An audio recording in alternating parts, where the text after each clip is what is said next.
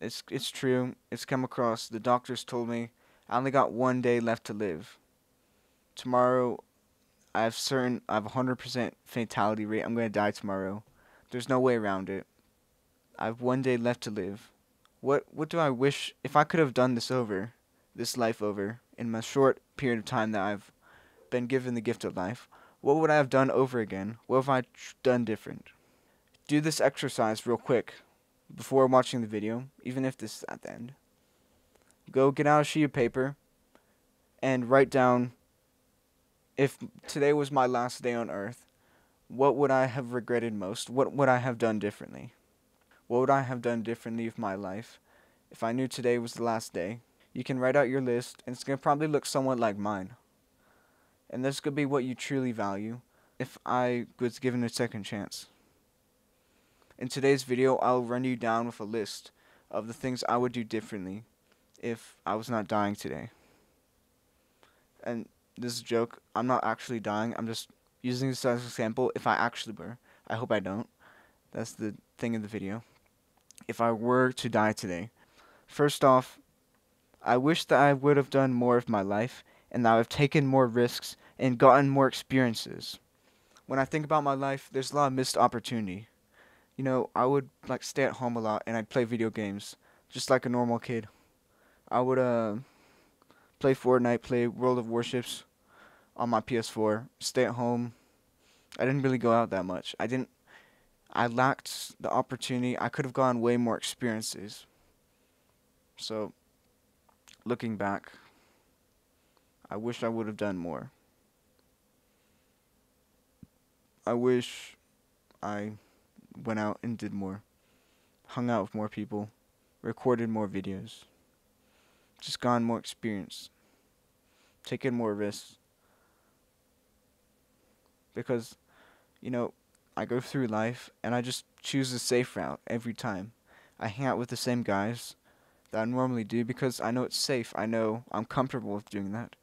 I don't try to push out of my comfort zone. I just stay in what I'm comfortable with. I don't try to expand it.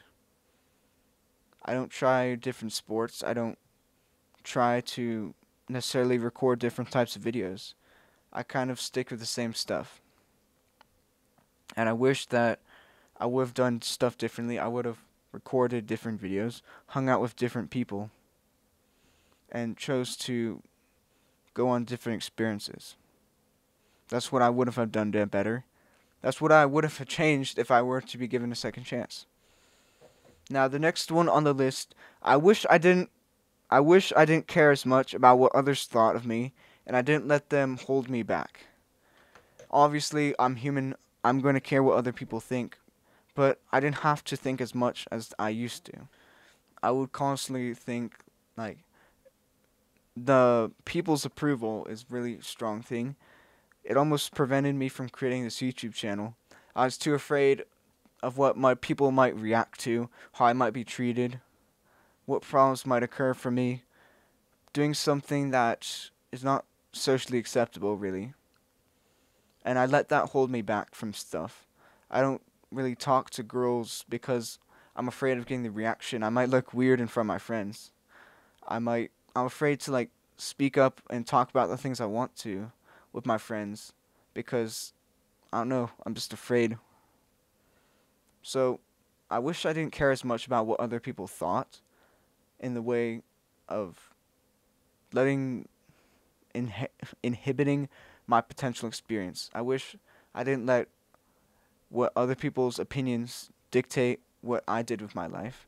I wish I just did stuff regardless. I made a YouTube channel I wish I could have started a YouTube channel way earlier had I not cared what other people thought. I could have done so many other things. You know, talked to my friends about what I wanted to talk about, hung with the people that I found interesting. If I just didn't care as much, if I didn't do stuff, there's plenty of examples I have, if I just didn't care as much about what other people thought. Now, the next one is I wish I talked to more girls. I would give up plenty of opportunities to talk to girls. I've had so many opportunities to talk to girls, yet I always would miss skip the opportunity. I'd always be too scared or something. I'd maybe I don't want to. I can do this tomorrow. I don't want to talk to this girl today. You know, I get too afraid, and then don't hold up the conversation with the girl because I'm afraid of pushing, pushing it and looking like a weirdo. So I don't try to stick it out. I don't approach girls because I just don't too afraid of it. I could obviously. You don't my the common excuse I'll refer to is I don't know how to talk to a girl if I were to approach one. But the truth is, the way you learn something is by just doing it. You can't be afraid of failure. The way all the players you see, they failed at talking to girls at some point. They had to. You learn best from experience. So the way to get good at talking to girls is actually just doing it without having experience to begin with. So that that argument I have that I'm not good at talking to girls, it doesn't apply. You're not good at talking to girls, so go approach more girls so you become good. It's it's okay. You're going to have bad experiences at first. That's the cost of entry. You need to be okay with failing and not sticking with a girl the first time. So, I wish I talked to more girls and got those experiences. I feel like the general theme of this is I wish I got more of each type of experience. More experience talking to people, more experiences with talking to people, more experience just in general life, more experience with girls. I wish I could experience more of life. Because that's what life is really for. Life is for the experience of it, is for getting and knowing and seeing and doing as much with your senses as possible. And going with that theme, I wish that I had a better relationship with my family. You know, I didn't really talk to my family that much. I don't have as good of a relationship with my family as I know I could have if I were to talk more with them, maybe engage more. You know, my mom, I don't really talk to her as much. I don't really go out my way to strike up a conversation. I don't really talk to my dad at all. My brothers, I don't have that good of conversations with them. I never try to engage. I never strike up or talk or interact with them. I never talk about plans for the future or getting them on self improvement. That's really something I struggle at. I don't know, I might just have some deep rooted fear. But I don't think it's natural for me to have a distance relationship with the person I'm supposed to be closest with your brother, you who can you trust if not your brother? Your own blood, the p- closest person that you grew up with. You've known these you've known your brother your entire life. Your brother's known you. If he's younger, he's known you his entire life. Your late brothers, that's the closest someone can be. Yet you choose not to be with your own brother. You choose not to be close with him. Isn't that kind of fucked up?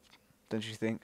You're missing out on so much potential experience, so much more life to be lived, so much more possibilities. You're passing them up because you're afraid of a little, a little negative emotion that's not even gonna last more than a minute.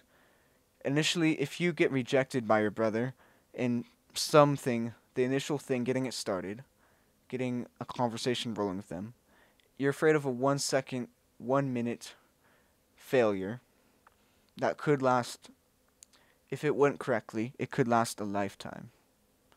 You're passing up something huge because you're afraid of something that's not even there.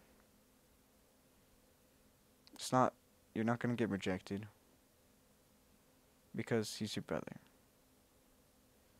So, if I could live more, and hypothetically, this was not my last day I would want to form a stronger relationship between my family in general, me and my family. Talk to my brothers more, talk to my mom, my dad, my brothers, get everyone more. Maybe even hang out more with the dogs. I don't really even pet the dogs that much. To me, they're just animals. I don't engage with them or try to take them on walks or pet them. So even more of that stuff. I wish I could do more of that. I really miss out on a lot of possible life to be lived. And my high school career is almost up. And it's really actually quite sad. If I don't pull my shit together, I'm never going to have this stuff. I'm going to pass it all up. I'm going to move out before I even get any of this thing. I need to build strong relationships with my family, with my school, with the people in my life. I need to I'm missing out on so much potential experience and the highest ROI thing you can do is get experience and I'm deliberately getting rid of it. I never thought of it that way. I need to get I need to do these things that I'm missing out on and I need to get more experience. The lowest ROI thing you can do is to sit in a room, sit in a jail cell basically and get no experience. The way we get furthest in life is by going out and getting experience in the world and learning about our world through our senses. So, get more experiences. That's what I want to do. That's the whole thing of this. Okay, just the final one basically. final thing. I wish that I didn't waste so much time on video games and cheap hits of dopamine. And I wish I have done stuff more meaningful and done stuff with other people, meeting new people, doing new things. TikTok and YouTube are not a substitute for real world experience. They're fake. And I wish I did not waste as much time as I have on those apps. Video games, same thing. I'm just I'm basically just playing somebody else's it's a video game. I'm paying somebody to fucking play their game. It's fake. It's not meaningful. It has no value. You're gonna play Fortnite. I have no memories of football Fortnite really. No meaningful memories. I just play the game for 12 hours a day. I log off and that's it. It's just a waste of time. It's an empty void. So, the real way to have a meaningful life, full of happiness and meaning and purpose, is to avoid these things that have no meaning and do things that are meaningful, spending time with people who you value and doing things you value, getting experience. I just listed a bunch of experiences. So that's basically it. I wish I didn't waste experience. I wish I didn't waste opportunities to gain experience wasting being YouTube, video games, stimulation, dopamine chasing. And I wish I did more meaningful stuff, like being with friends and family, talking with family, doing meaningful experiences, not letting my friends step in the way of me getting more experience. So I just wish I could have gotten more experience in general. That would have changed my life so much. But the joke's on me is I'm not actually dying, and I do have a chance to actually use these steps. I'm not dying, and I get to have an opportunity to look back on this video and change my life. I just listed everything that is valuable to me. I just listed a blueprint to how I can live a life that I want, how I can change my life for the best and I need to go up watch this video back and apply everything. Take this as an opportunity. Just make the proper changes, look back on your list, and actually act on some of the stuff. Like, make small steps and start changing your life. Maybe I'm to go spend more time with my brother. Maybe I'm to talk to my brother today. I'm to take that actionable step. I'm to go make sure, make it a job to go hang out with a different person today at school. I'm to make sure that I block out YouTube and never go back on that shit again. Gonna delete all the video games off my fucking console. For, put that shit in the closet. Just little actions we can take to make our lives so much more meaningful. So do this exercise right now. And I promise you, it will have tremendous benefit.